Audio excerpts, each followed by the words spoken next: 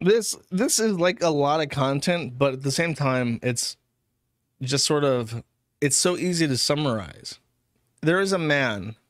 He is from Texas. He attended high school in Kentucky. There is a woman who also attended uh, high school in that area.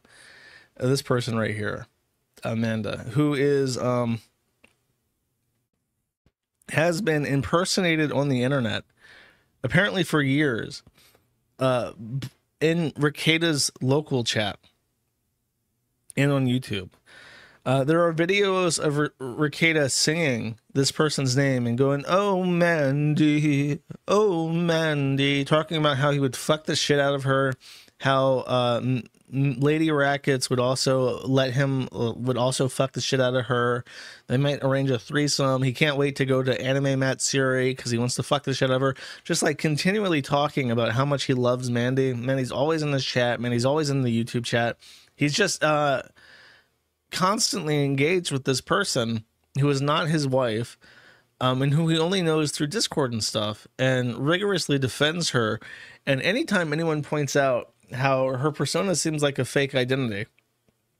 Uh, she gets very defensive, and Rekieta also gets very defensive. But she will never get on voice chat. She'll never talk to Rekieta and defend defend herself. Uh, and it turns out that it's probably a guy who has been skinwalking this woman for years. Uh, there's a couple uh, way that this lines up. Um, his location, his high school lines up, uh, and then specific events in his uh, his life versus what Mandy talks about. So you can find obituaries for his family members that are dying at the exact day that Mandy is talking about losing other people in her family. Uh, so it all oh, and then there's actual f- photos of the family members that match up.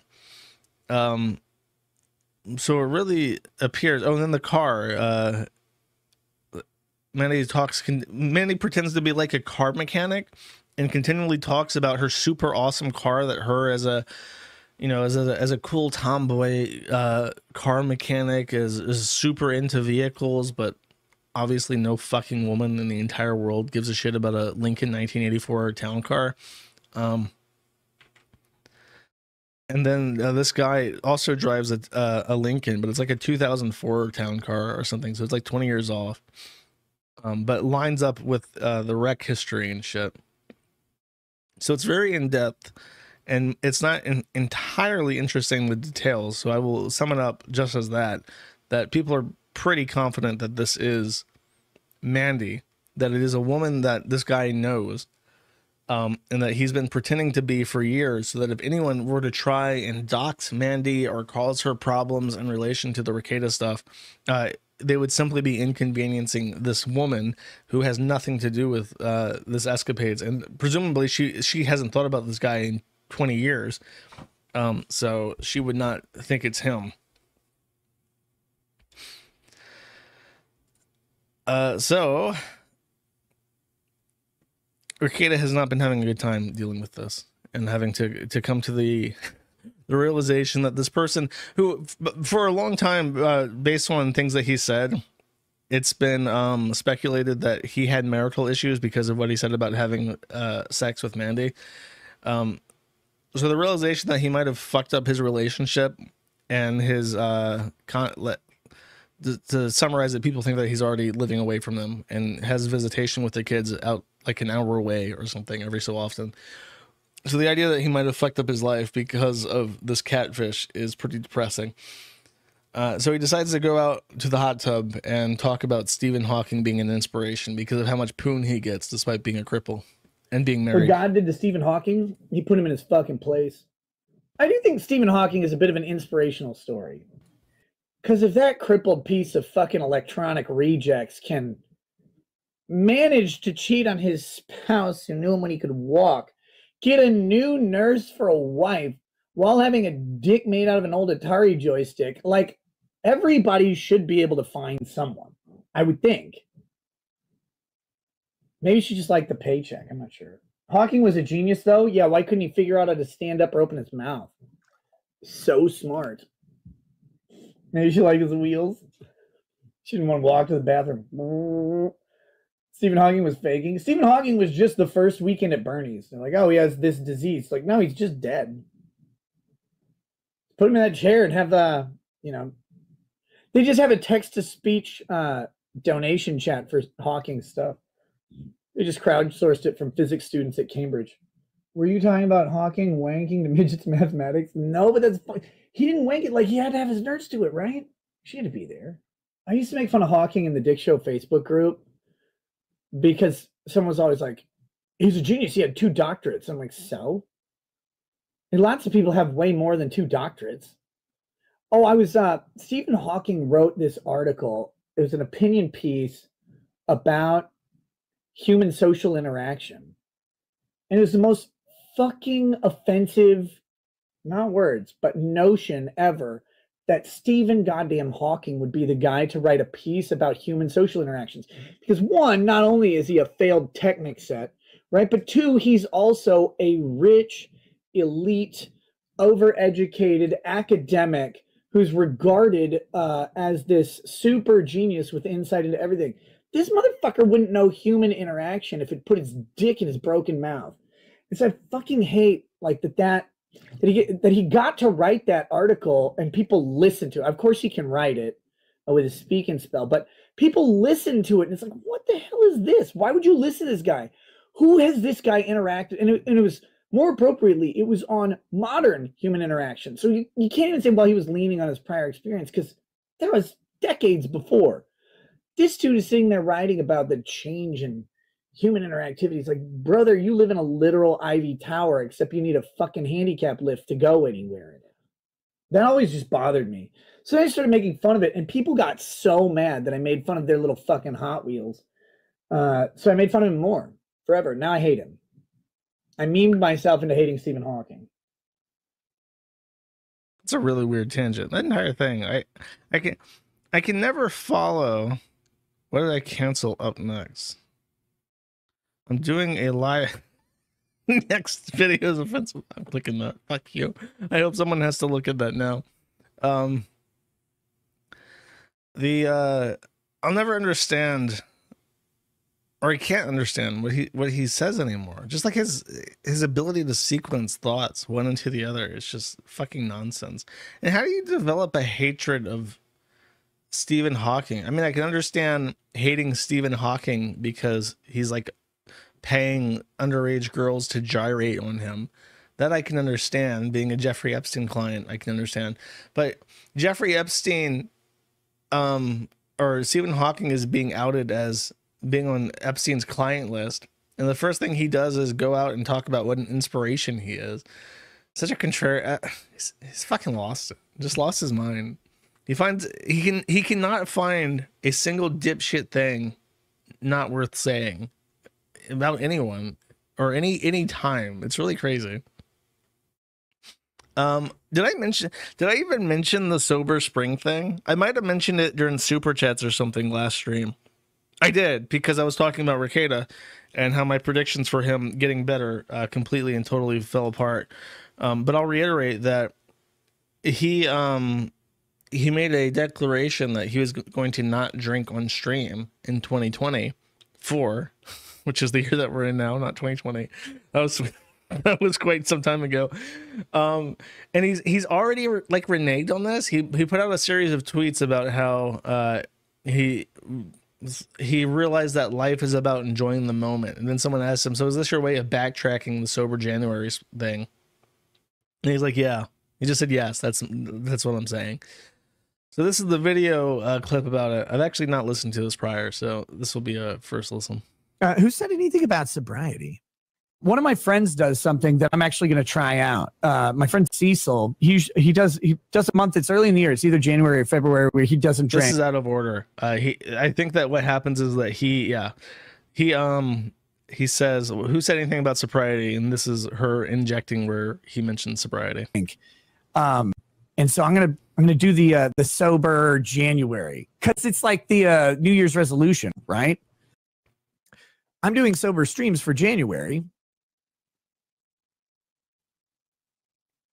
We'll see what happens after that. But oh my God, everybody, uh, again, this is fun thing on the internet where everybody claims to know everything because they see a small portion of life. But uh it's good. I don't know. It doesn't matter. So you sober all the time for January or just for streams? Well, uh again, um sober streams, uh, but people miss something. I don't generally drink off stream unless it's a social event. I just don't drink a ton. Um, people think because I drink on streams that I'm drinking all the time. That's really not the thing, but whatever. So uh, sober streams because I didn't like how I was utilizing liquor as a crutch more than a gimmick on the show, and uh, it's you know I didn't like how it was affecting the show in that way, uh, and there's a whole bunch of reasons for it. But um, when you give yourself an excuse to let an activity get out of control, you should get it under you should get it under control. So sober streams for January, focusing on delivering content rather than relying on an altered state is my uh, that's my goal. We'll see how that goes. If it uh, if it's good and should be maintained, then it'll keep going. Or um, if it uh, is bad and isn't useful, uh, maybe bring the liquor back. Who knows? We'll we'll figure it out at some point. Um, don't know. Don't know how it will go. With that, uh, Tim Cass asks, "Are you an alcoholic?" Well, no, I don't think so. you said the same thing when you stopped doing the Friday shit show panels too. Well, I don't. It's just crazy because like the whole point was that he complained. He complained. He went out and he complained that he was being accused of being alcohol dependent. And with an al- accusation like that, he believed that there was no way to defend himself from from those accusations. How do you how do you shake that that um that reputation of being dependent on something? Because if you say no, I'm not, you just sound like you're coping, like an alcoholic would. And then someone, presumably people in his audience, suggested, "Hey, why don't you just go sober for a little bit?" And he thought, "Sure, of course I can do that. I can do that for January." And now he's like pretending that that that he forgot what the purpose of doing that was. Just to show people yeah of course i can stop drinking. I can do my streams as i do uh, without any alcohol and i'll do it for an entire month just to really drive the point home that it's not something that i need in my life. And now as he approaches the new year he goes out and he says well life is actually too short to spend an entire month doing something you don't want to do. So uh, bottoms up and he just is going to pretend that there was no point to the commitment to begin with Crazy. Do Friday shit show panels, do I? Yeah, it's just again, it's a decision I made uh, based on how um, certain shows went involving. He didn't do it. He didn't not make a leak. He didn't do it at all. He he committed to doing a sober January and then backed out of that commitment before the New Year's happened. He changed his mind before it even began. He has not been sober for more than a few hours at a time. Uh, he hasn't been sober for more than uh, one nap at a time um, in all of 2024 thus far. Talked about cutting back on the drinking when you did stop the Friday shows. Yeah, I did. Uh, and I didn't do it very well. I said, it is what it is. Uh, people will always make their assumptions about like uh, what your life is like, but you can't do anything about it. you can't fucking change. You can never change anybody's mind. Like they have decided um, what your life is and, and what it will be. So you just uh, you just let it go and do your shit. You look way better sober. Best of luck. Oh, thanks. I don't think I look different. okay. Uh, it's fine. It's a weird, uh, weird life. It's a weird life, but it's it's all good, man. Um, I've had such a great end of December that I really can't be fucking mad about anything. Uh, we'll see what 2024 has in store, but I'm I'm enjoying it so far. Um, I don't know. Life has a strange way of approaching uh, approaching you and developing in ways that are unexpected and interesting. And I don't know. I'm here for it there's not much you can do about most things, so you just kind of ride with it. Life is like a plastic bag. Some days you're floating in the wind, helpless to every desire and momentary whim of life as a flow. And then one day you wake up naked in bed next to your daughter's best friend, and you are shot dead in the back of the head by a closeted gay Nazi. Just can't be helped. There's nothing you can do. Might as well just drink. uh,